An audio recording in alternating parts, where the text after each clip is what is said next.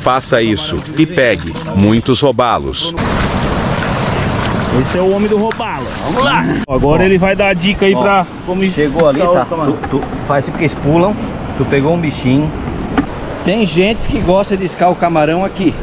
Eu gosto de iscar aqui, ó, que ele fica mais resistente. Dele assim, ó. Olha, iscou. Vamos fazer o primeiro arremesso, o bicho tá bem vivo, ó. Olha. Certo. O robalo sempre gosta de ficar mais em campo de pedra. Tem que jogar com força, né? Ele é leve, né?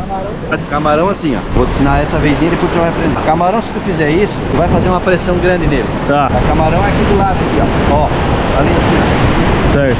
ó. aqui. Ah, de lado. É robalo aí, ó. Uh!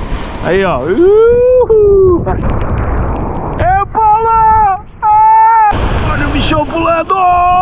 Daqui a pouco ele vai pra panela. Foto pro Facebook. Vídeo completo